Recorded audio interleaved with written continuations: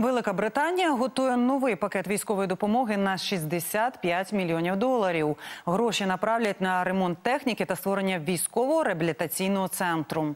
І детальніше про реабілітацію наших воїнів поговоримо з Наталією Гусак, головою Національної служби здоров'я України. Пані Наталія, я вас вітаю. Слава Україні! Героям слава вітаємося.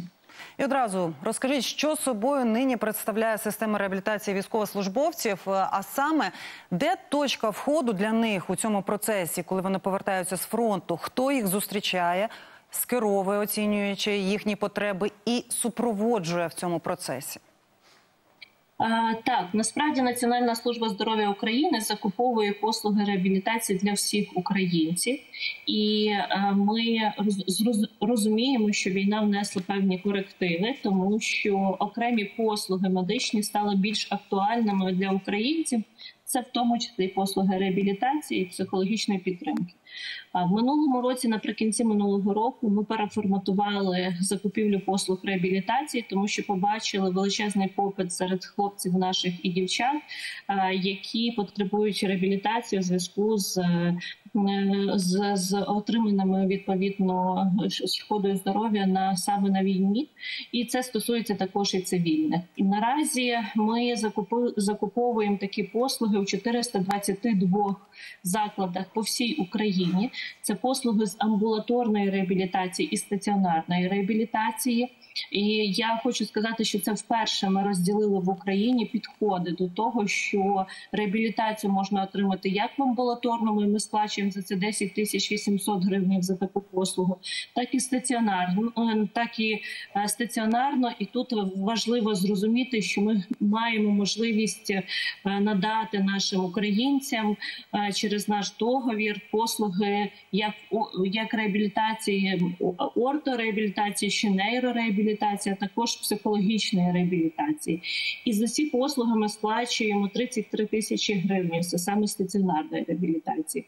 Якщо говорити про точку входу для військових, то безумовно система ще е, потрібно сказати, що в нас є ще медична система е, Міністерства оборони, е, якою відповідно займається командування медичних сил, і безумовно, що маршрути вибудовуються також через е, госпіталя е, військові госпіталя, потім через цивільні, дуже часто через цивільні наші заклади, де е, таких хлопці, дівчата отримують ще послуги або хірургії, або стаціонарного лікування, і потім відповідно наступною вхідною точкою до реабілітації це є лікуючий лікар, який виписує електронне направлення або на стаціонарну реабілітацію, або відповідно, якщо цей військовий вже демобілізований, він вже має статус ветерана війни то тут вхідною точкою є на реабілітації. Його може бути також, окрім лікуючого лікаря,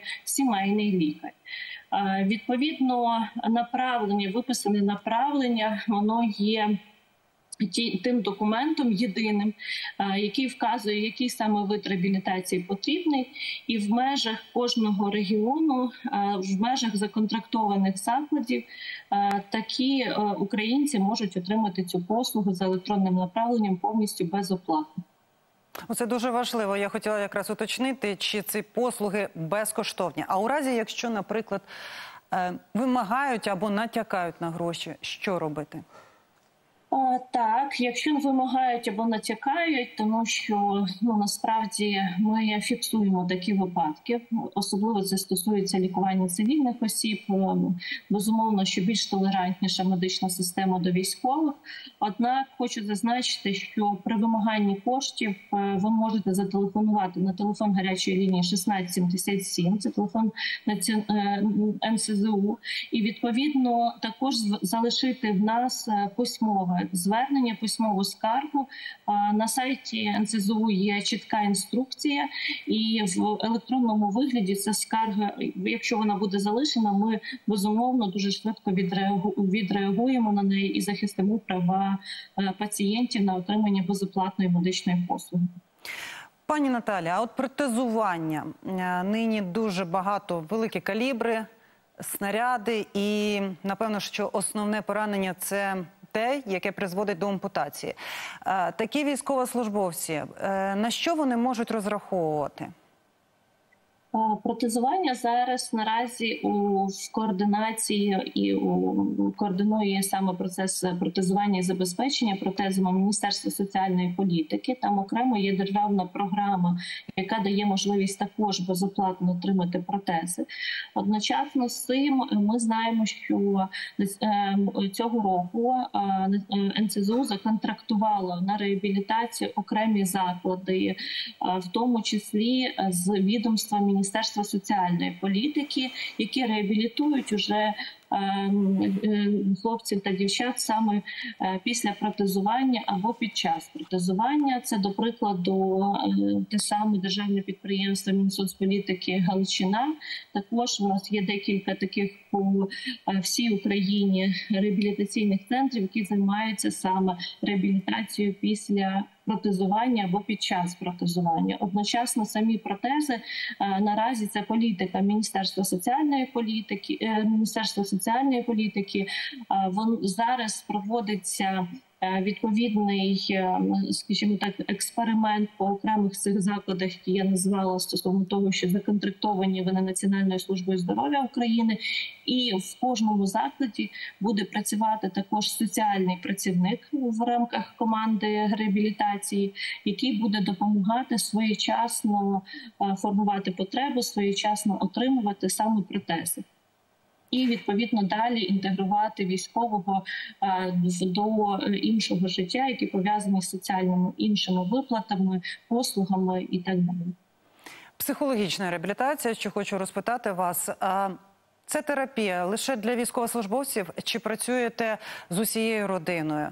І е, чи проводиться ця реабілітація з тими військовослужбовцями, які потім повертаються на фронт? Чи обов'язково, щоб людина вже вийшла з тої зони небезпеки, аби були результати?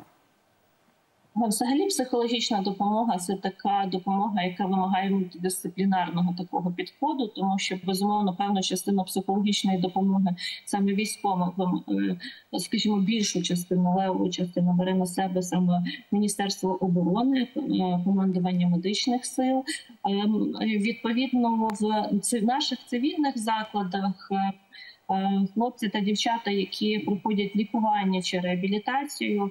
А в нас по більшості пакетів Національної служби здоров'я України, тобто в послугу, яку закуповує Національна служба здоров'я України, входить наявність е, психолога або психотерапевта, тому що і в обсяг надання медичної допомоги входить саме надання е, відповідної допомоги цими фахівцями, і не тільки саме пацієнтам, а й родинам пацієнтам. Це можна переконатися до прикладу Е, в пакетах по онкології, е, яка також на жаль нікуди не дівається. У нас чітко прописано, що психолог працює не тільки з пацієнтом, а й з родиною для того, щоб підтримати. Ще пакет паліативної допомоги, і до речі, пакет реабілітації, який ми з вами говорили, також входить туди. Е, обов'язково входить психолог або психотерапевт. Але я також зазначу, що в рамках програми ментального здоров'я за е, керівництвом лідерством першої леді зараз розбудовується така загальна система е, ментального підтримки ментального здоров'я в Україні. І до прикладу від Національної служби здоров'я України в цьому випадку ми розпочали в цьому році закуповувати послуги з психдіагностики і психологічної підтримки саме на первинному рівні, тобто сімейний лікар зараз е, в кожному куточку України перенавчається, і це велика армія, яка вже е, надає е, людям психологічну підтримку, і далі тільки збільшуватиме свої навички в наданні такого такої допомоги. Дякую вам, пане пані Наталія, за те, що доєдналися. Сподіваюся, нашим глядачам це була корисна інформація. Це була Наталія Гусак, голова Національної служби здоров'я України.